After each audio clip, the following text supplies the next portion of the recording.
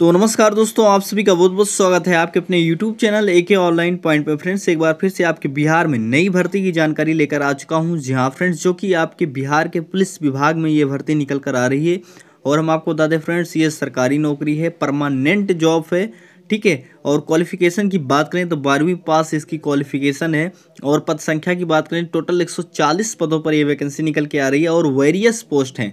जैसे कि डाटा सहायक हुआ प्रोग्रामर हुआ, सिपाही हुआ और साथ में इंस्पेक्टर के भी यहाँ पर बहालियाँ की जा रही है। तो मैंने आपको बता दिया कि विभिन्न प्रकार के यहाँ पर पद निकाले जा रहे हैं और सभी की अलग अलग क्वालिफिकेशंस हो सकती है। तो ये जो परमानेंट जॉब है, जो ये निकल कर आ रही है, ठीक है? तो इसका विज्ञापन कब जारी किया जाएगा? आप लोग आवेदन कब से कर सकोगे? सारी जानकारी इस वीडियो में मिलेगी। आप वीडियो के अंत तक बने रहेगा ऑफिशियल न्यूज़ के ज़रिए सारी जानकारी आपको बताएँगे। तो आप वीडियो के अंत तक बने रहेगा चलिए फ्रेंड्स वीडियो को शुरू करते हैं। तो जैसे कि फ्रेंड्स आप लोग देख पा रहे हो, आज के डेट के न्यूज़ पर मैं आ चुका हूँ, जो कि आज के डेट में जारी की गई है। 740 पदों पर होगी अस्थाई बहाली। जी हाँ फ्रेंड्स परमानेंट जॉब है। और आप देख पा रहे हो कि अंतिम चरण में बहाली की तैयारी एडीजीपी गंगवार। ठीक है, अंतिम चरण में बहाली की तैयारी है। और कौन कौन से पदों पर बहाली निकल के आ रही है, सबसे पहले मैं आपको ये जानकारी देना चाहता हूँ। आप देख पा रहे हो कि जिलों में तीन यूनिट स्थापित करने का लक्ष्य, प्रत्येक यूनिट में एक इंस्पेक्टर ठीक है, ये एक ज़िले की बात कही जा रही है। एक ज़िले में तीन यूनिट स्थापित किए जाएँगे और प्रत्येक यूनिट में, ठीक है, एक इंस्पेक्टर, एक प्रोग्रामर और तीन दरोगा, तीन डाटा सहायक और दो सिपाही की अस्थाई नियुक्ति प्रक्रिया शुरू कर दी गई है, ठीक है। सरकार ने 15 मई 18 को हुई कैबिनेट की बैठक में चौहत्तर पुलिस निरीक्षक और चौहत्तर प्रोग्रामर 222 एसआई 222 सिपाही, यानी कि डाटा सहायक सिपाही। कौन से सिपाही होंगे यहाँ पे? डाटा सहायक एवं 148 सिपाही समेत कुल 740 पदों की सृजन की मंजूरी दी थी। ठीक है? एंड यहाँ पर आप देख पा रहे हो कि जो cyber crime and social media unit की स्थापना से लेकर निगरानी नियंत्रण का पूरा जिम्मा आर्थिक अपराध इकाई पर है और पहली बार इन पदों पर सीधी बहाली होने जा रही है। ठीक है? और सूत्रों से मिली जानकारी के अनुसार C C S M U में होने वाली नियुक्ति कैंडर पोस्ट होगी और इंस्पेक्टर से लेकर सिपाही तक आईटी के इंस्पेक्टर होंगे और योग्यता का निर्धारण इसी ज़रूरत को ध्यान में रखकर किया जा रहा है।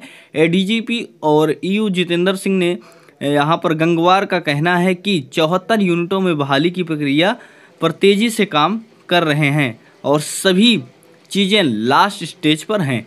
तो यहाँ पर जो भी प्रक्रिया हैं, सभी प्रक्रिया लास्ट स्टेज पर हैं और आपके बिहार में चुनाव आने वाला है और चुनाव के मद्देनज़र रखते हुए, चुनाव में चुनाव पहुँचते हुए इसकी जो ऑफिशियल नोटिफिकेशन है, विज्ञापन जारी कर दिया जाएगा। और क्या बातें बताई गई है कि यहाँ पर क्राइम को रोकने और सोशल मीडिया पर निगरानी रखने के लिए राज्य के सभी जिलों में गठित cyber crime and social media unit के लिए अस्थायी बहाली होने जा रही है। आर्थिक अपराध इकाई ने 740 पदों के लिए प्रस्ताव तैयार कर लिया है। जल्द ही विज्ञापन जारी होगा।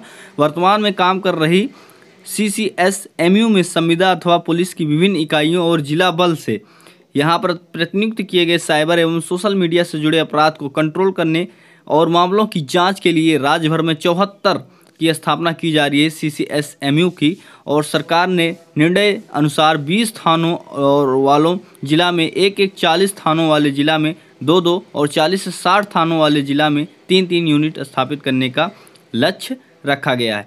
तो फ्रेंड्स, ये कुछ जानकारी थी जो कि आज के डेट में निकल कर आई हुई है। एंड फ्रेंड्स मैं आपको बता दूँ, प्रस्ताव इसका तैयार है और विज्ञापन, चुनाव तक इसका निकाल दिया जाएगा। आप लोग इसके लिए ऑनलाइन आवेदन कर सकोगे। सिपाही वगैरह के लिए आपको पता है इंस्पेक्टर की क्या क्वालिफिकेशन होती है। बात आती है यहाँ पर डाटा सहायक की। तो वहाँ पर आपसे कंप्यूटर रिलेटेड भी कोई कोर्स मांगे जा सकते हैं। तो जानकारी कैसी लगी फ्रेंड्स वीडियो को लाइक करके बताएँ और प्रोग्रामर की भी क्वालिफिकेशन आपको पता है क्या होनी चाहिए। तो आप अपनी सर्टिफिकेट तैयार रखें। ठीक है? बहुत जल्द बहाली इसकी निकल के आ जाएगी। जानकारी कैसी लगी वीडियो को लाइक करके बताएँ, चैनल को सब्सक्राइब करें। यदि आप ये न्यूज़ एंड नोटिफिकेशन चाहते हैं तो फेसबुक में सर्च करें एक ऑनलाइन पॉइंट। फेसबुक पेज को लाइक करें। डेली आपको वहाँ पर न्यूज़ एंड नोटिफिकेशन जॉब की पोस्ट कर दी जाती है। चैनल को ज़रूर से ज़रूर सब्सक्राइब करें। फिर मैं नेक्स्ट वीडियो में। तो लिए बाय। Take care.